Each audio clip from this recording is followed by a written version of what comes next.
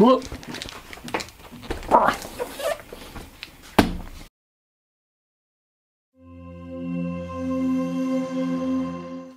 Hello everybody and welcome back.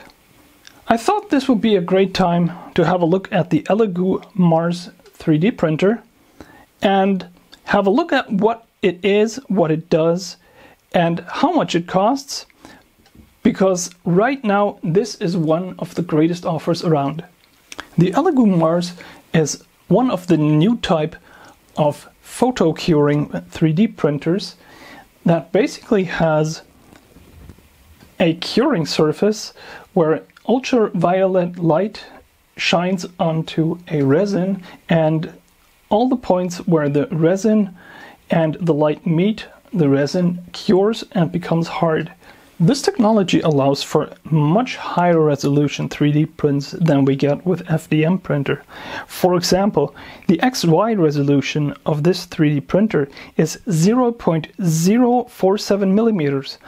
Um, the z-axis accuracy is 0.0125 millimeters and the characteristical layer thickness that you can achieve can be between 0.01 and 0.2 millimeters. This is a lot and this is so much finer than we've ever had before. And at the price of around 250 euros right now, this is just a really, really great deal. Ultraviolet curing resins and ultraviolet curing epoxy has been around for quite a while.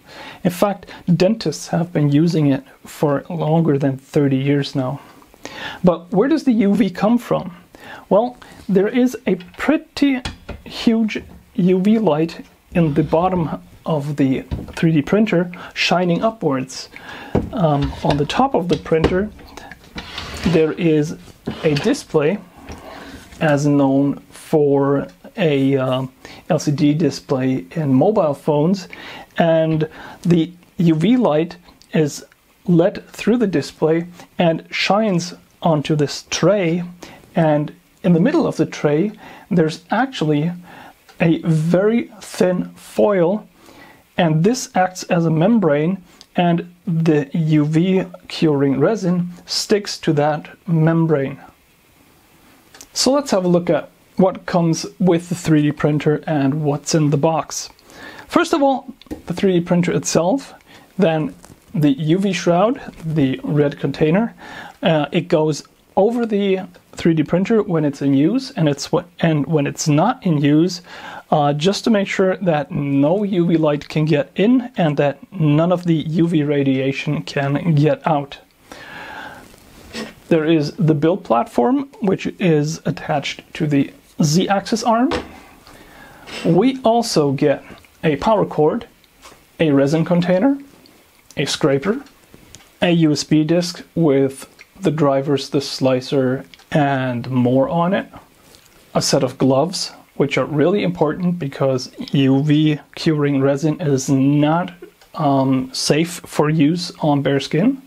A pair of snips, some filters to filter the resin when you put it back into the reservoir, some Allen wrenches and tools, a 60 watt power supply, an Allen screwdriver, a tool for getting uh, resin off the print bed, and finally three face masks because UV resin does smell bad and it is also bad for your lungs and it should not be inhaled. The printer also comes with a very simple manual uh, for the first setup. Uh, this is really easy to read, really simple, but it suffices. Also, to print, you need some photosensitive resin and some isopropylene alcohol or methylated spirits will also work, but they will make your prints look matte and uh, you might not always want that. Also, it smells pretty bad. To level the print platform, we first take the build platform off and open these two screws. I've already done that. Um, now the build platform is loose and we can see that this here is spring loaded and we then turn on the printer.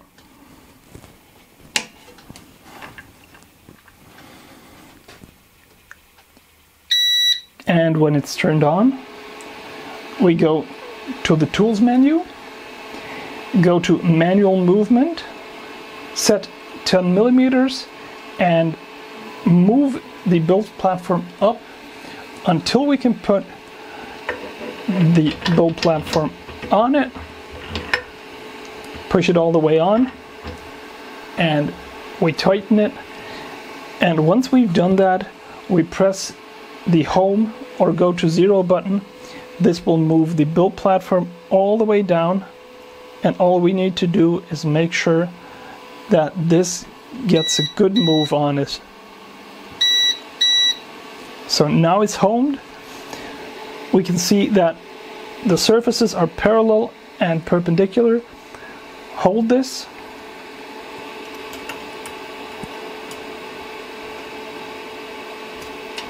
and tighten the screws.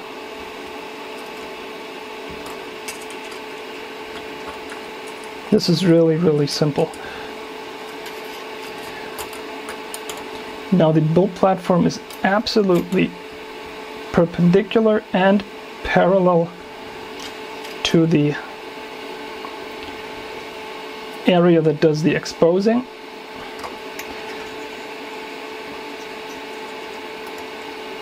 And we can be sure that it is absolutely at zero height.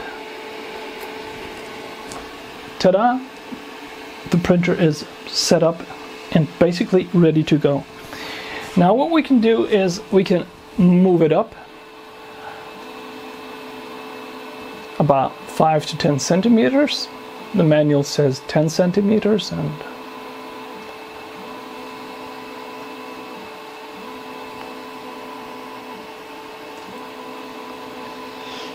and then we can go back into the menu. Do an exposure test. That's a bit long. Let's say about three seconds. So we're setting it to three seconds, then we go for next and it should turn on the light for just three seconds.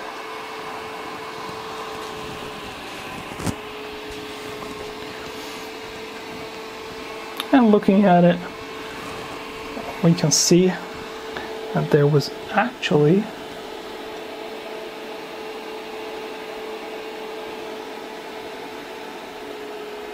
exposure going on. Now we know it works and we can move on preparing resin and the printer itself and uh, some solvent we can do a test print. I'm now going to fill the tray up about one third for the test print. There's a test print on the uh, USB disk that comes with the printer and we're just going to test that out.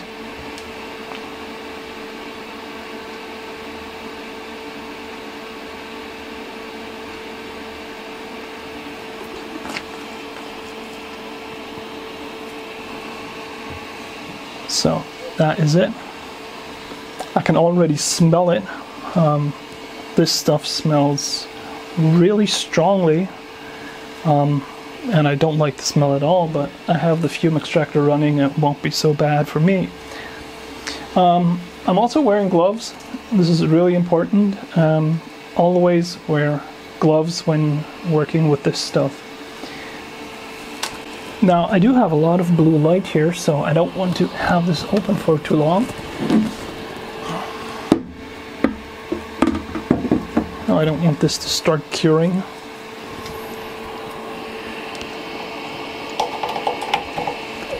Let's add the disk. Go to print. Select the folder with the demo print. And we have the CBDDLP file, which is um, the rook when it's printed, and I'm going to select that. And I'm going to select play for print.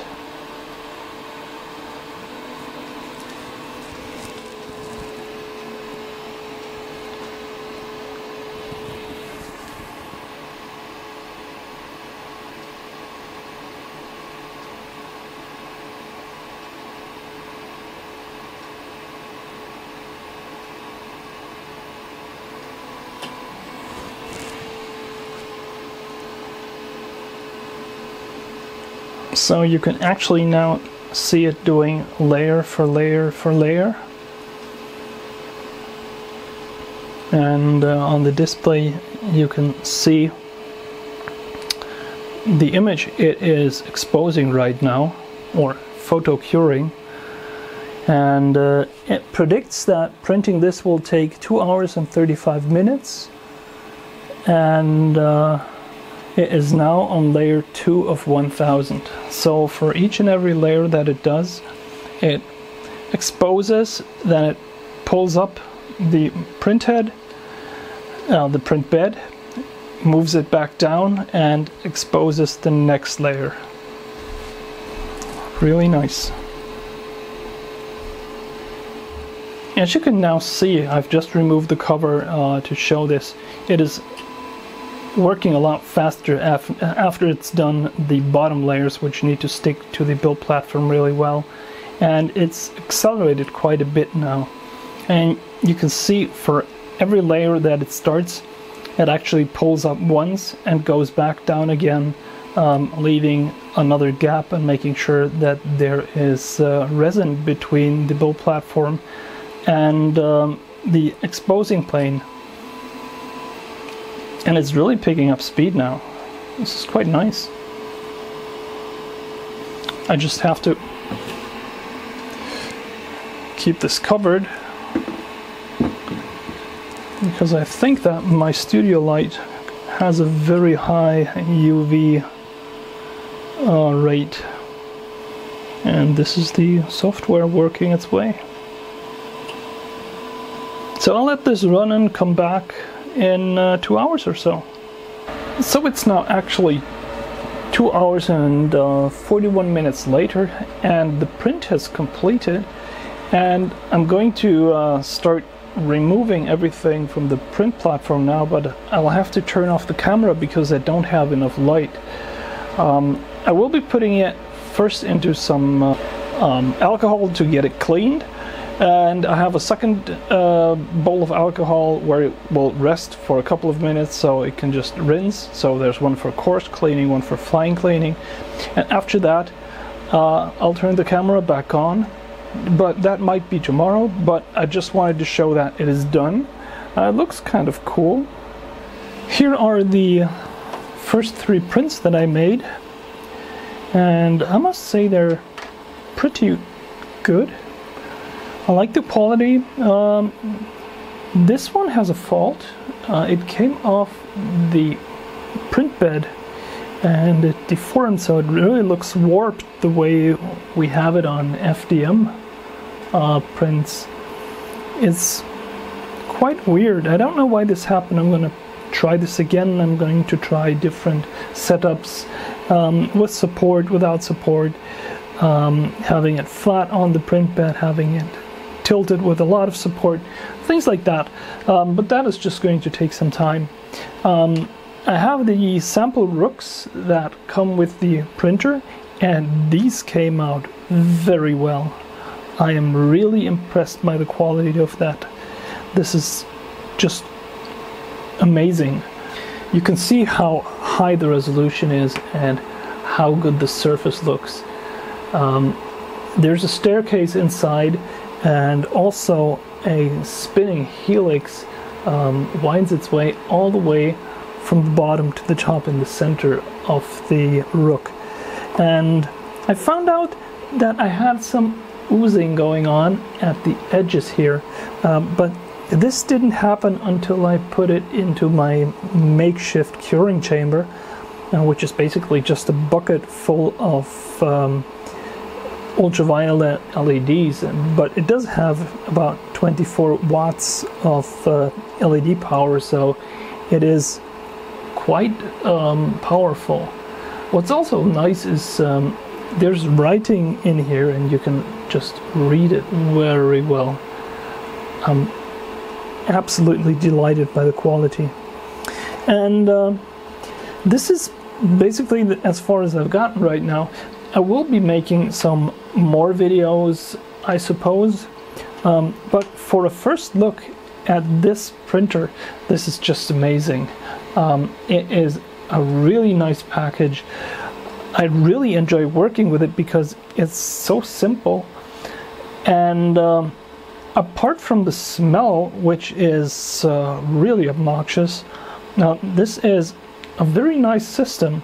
And make sure to always wear a mask and gloves because uh, this is epoxy and epoxy is not really healthy. So this is no printer for a kid's bedroom or for the living room or kitchen. This is a basement printer, but for that and for the amazing price of about 250 euros right now, this just can't be beat.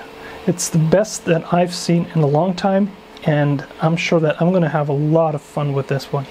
The software included with the 3D printer is, in my case, Box version 1.4.0. Um, that isn't a bad choice. Uh, it's basically the standard Swiss Army knife uh, tool set. Uh, you can have raft supports, uh, you can resize, scale, turn, mirror your objects. Um, it can do everything that you need and uh, this is not dongled in any way, but I did see that if you want to download version 1.5.0, you have to register at a uh, Chinese website, um, which is something that I find, um, well, they wouldn't have to do that. Um, I see that they want all the available contact information of their customers, but um, for a software such as a printer like this, this wouldn't have been necessary, and maybe they'll rethink that. Um, yeah, the software is okay. It's not great, but it really is okay. I like it. It works out fine, and uh, you can export all these settings and edit them yourself and re-import them, or you can use um, the tools and the setup that comes with the uh, with the software to set up your printer the way you would like it. And uh, basically, everything is included. Um, I didn't find any example prints, but uh, I suppose that is okay. Uh, Thingiverse is available to everybody, and you can just try out stuff that you can get yourself. Um, yeah there's not much to the software. It is uh, the bare minimum, but it's the bare minimum that works out. Uh, printer settings are available through the settings tab. They are pretty simple. Uh, you can configure multiple printers, which I find nice. And uh, once you click the add printer uh, icon, you get a menu where you can find the Elegoo Mars and that is it what you need to do for the basic setup and as I said it's not exceptionally good but it gets the job done and it feels quite up to the task. This concludes the short review of the Elegoo Mars photo curing 3D printer. It's a really great package. I like it a lot. I'm going to have a lot of fun with this, I promise. And uh, I'll keep learning about it, and you will probably be seeing it in some of my future projects. Thank you very much for watching, and bye bye.